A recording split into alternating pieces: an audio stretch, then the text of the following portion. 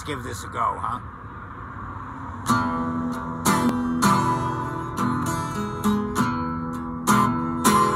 Thank you.